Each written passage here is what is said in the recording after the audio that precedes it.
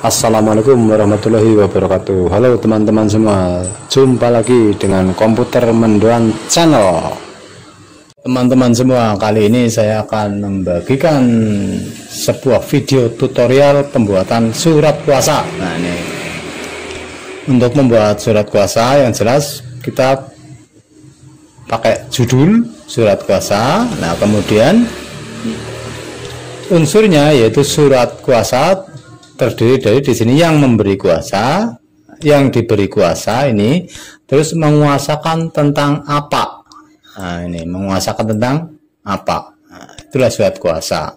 Nah, untuk pembuatan data, data diri seperti ini itu teman-teman sebaiknya memakai tabel sehingga pelurusannya lurus ini titik duanya itu lebih mudah. Nah, untuk membuat tabel ini saya contohkan di sini gampang sekali insert tabel di sini tiga kolom. Nah, ini yang satu untuk nama alamat nick. Nah yang tengah ini untuk titik duanya. Nah, ini untuk identitasnya. Nah kalau sudah ditulis agar tidak bergaris disorot saja.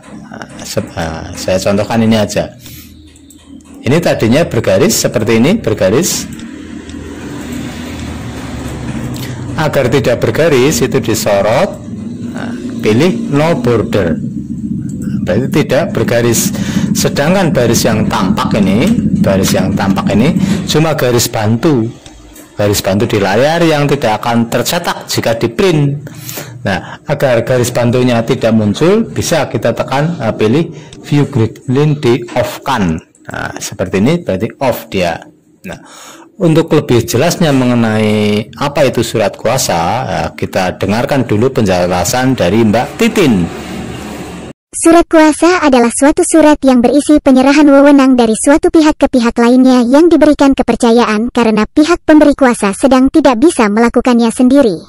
Di sini akan saya tunjukkan macam-macam surat kuasa. Nah, inilah macam-macam surat kuasa yang nantinya bisa di-download dokumennya pada kolom deskripsi. Nah di link saja. Nah sambil melihat macam-macam surat kuasa kita dengarkan lagi penjelasan dari Mbak Titin tentang unsur-unsur dari surat kuasa serta bagaimana isinya agar kita lebih jelas memahami tentang surat kuasa. Pada umumnya surat ini terbagi menjadi dua jenis yaitu surat formal dan juga surat non-formal. Umumnya surat formal digunakan untuk suatu hal yang sifatnya normal Sedangkan surat non-formal biasa digunakan untuk hal yang sifatnya lebih pribadi atau tidak formal. Selain itu, fungsi dari adanya pembuatan surat ini adalah sebagai suatu bukti pernyataan dari pihak pemberi kuasa bahwa pihak penerima kuasa mempunyai hak dan kewajiban untuk bisa melakukan tugas seperti apa yang tertuang pada isi surat. Untuk itu, pihak penerima kuasa pada dasarnya adalah wakil dari pemberi kuasa untuk melakukan beberapa hal yang sudah tertulis di surat. Hal pokok yang harus ada pada surat kuasa, data pribadi dari pihak pemberi kuasa, data pribadi dari pihak yang diberikan kuasa, jenis wewenang dan kausa yang diberikan. Berikut berbagai batasannya. Yang harus dicantumkan pada data pribadi surat kuasa, jika surat kuasa dinas, nama, NIP, pangkat, jabatan. Jika surat kuasa pribadi, nama, NIK, pekerjaan, alamat. Surat kuasa terbagi menjadi tiga jenis yaitu, 1. Perseorangan. Biasanya surat kuasa perorangan sifatnya lebih nonformal, yang umumnya berhubungan dengan dokumen pribadi ataupun pengambilan barang. 2. Kedinasan surat kuasa kedinasan adalah suatu surat yang dibuat oleh suatu perusahaan ataupun instansi kepada para karyawannya untuk melakukan beberapa hal yang berkaitan dengan kepentingan perusahaan. Umumnya, pihak pemberi kuasa adalah pihak organisasi, perusahaan swasta dan juga instansi pemerintahan. Surat kuasa ini juga harus dituliskan secara formal karena surat ini berhubungan dengan kedinasan. Selain itu, surat ini juga biasa digunakan untuk surat dinas workshop sosial media di sekolah.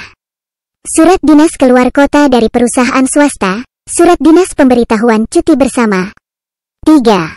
Istimewa surat kuasa istimewa adalah surat yang diberikan kepada pihak lain untuk mewakili pemberian kuasa. Jenis surat ini umumnya diberikan oleh orang yang terjerat masalah hukum kepada pihak pengacara ataupun suatu lembaga bantuan hukum untuk menyelesaikan masalahnya. Terima kasih, semoga bermanfaat. Untuk link videonya bisa Anda dapatkan di kolom deskripsi, tinggal di download saja. Terima kasih, semoga bermanfaat. Untuk link dokumennya bisa di download di kolom deskripsi. Untuk